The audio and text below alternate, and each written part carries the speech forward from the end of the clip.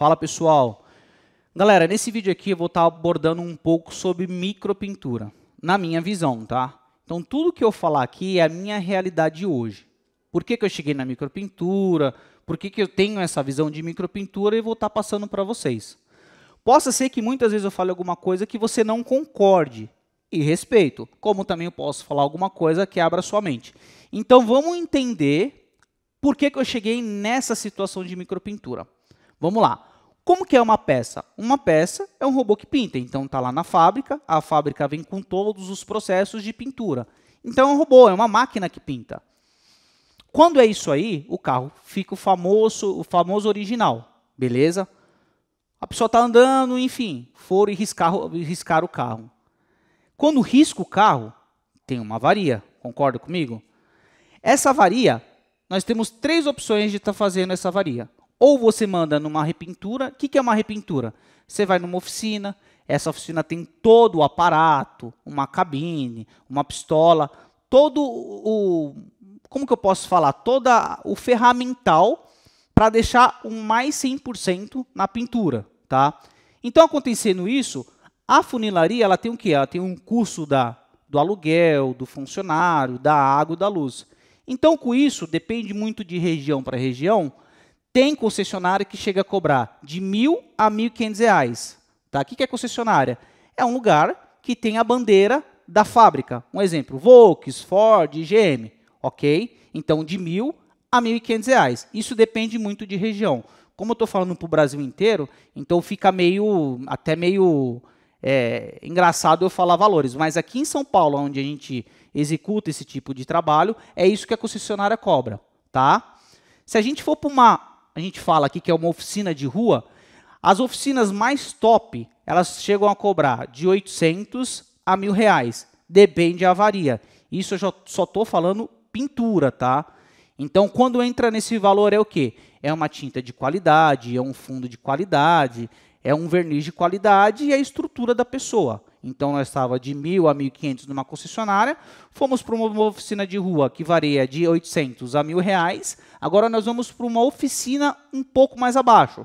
Quando a gente pega uma oficina mais abaixo, o que, que envolve essa oficina um pouquinho mais de baixa qualidade? Ele não vai usar o mesmo verniz, que uma concessionária usa, ele não tem uma cabine que uma concessionária e uma oficina top tem, então ele consegue abaixar um pouco mais esse custo, tá bom? Então varia entre 500 a 700 reais, depende a cor e depende o defeito, tá? Então vamos por escala. Concessionária de 1.000 a 1.500, uma oficina top de rua de, eu falei de 1.000, não, de 800 a 1.000, e aí nós estamos abaixando o quê? A escala até chegar na micropintura. Tá? Então, se a gente pega uma oficina intermediária, vamos falar de 500 a 700 a 800 reais. Tá? E aí nós temos a defunto de quintal. O que, que é? Aquela pessoa que está se levantando, então abaixa mais o custo, só que ele vai abaixar ele vai comprar um verniz de, de, um pouquinho inferior, ele vai comprar um fundo inferior.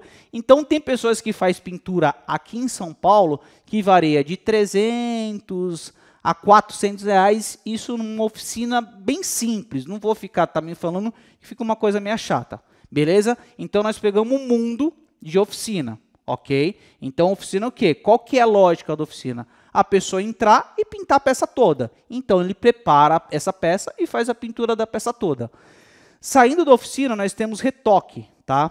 Temos retoque. O que é retoque? Ele vai fazer um serviço mais localizado, mas entre aspas, com uma qualidade como se fosse uma pintura total, tá? Então, como que eu posso colocar para vocês? Ele vai, ele deu uma ralada. Em vez de ele invernizar ou ele fazer a peça toda, ele vai focar só no defeito, certo? Então, ali é um retoque. O retoque você pode ser feito numa oficina, como você também pode ter um carro, uma funilaria móvel que eles falam. Então, você também consegue fazer ele na casa do cliente ou num prédio.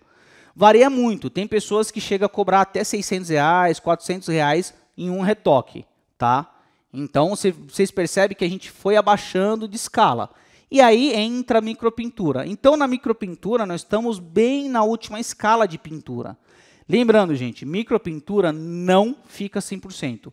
Isso eu falo em, em, YouTube, Instagram. Para o meu cliente eu deixo isso bem claro. Por quê? A micropintura é feita com aerógrafo, tá? Com essa peça aqui. Nós temos alguns aerógrafos que vai ter a pasta de aerógrafo, a aula de aerógrafo, vocês vão estar tá vendo. Então, o que, que acontece? Essa peça aqui a gente não vai chegar na mesma qualidade que uma pistola de retoque, com uma pistola de pintura, tá? Então, o que, que acontece? A micropintura a gente consegue abaixar o custo. Por quê?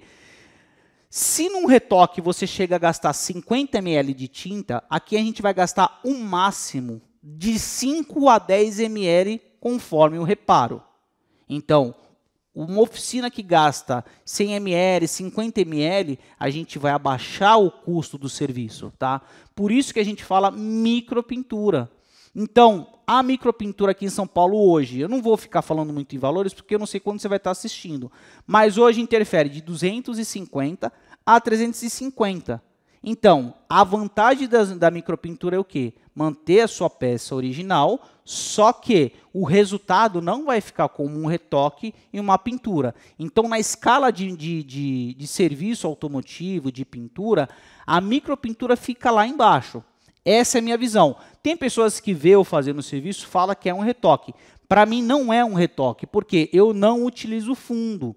A peça é o quê? É a peça, é o fundo isso o preparo da, da, da peça para pintura. É a peça, né, a lata em si, é o fundo, a tinta e o verniz. Na micropintura, a gente só utiliza o quê? A tinta e o verniz. Então, por isso que a gente não consegue chegar num resultado favorável.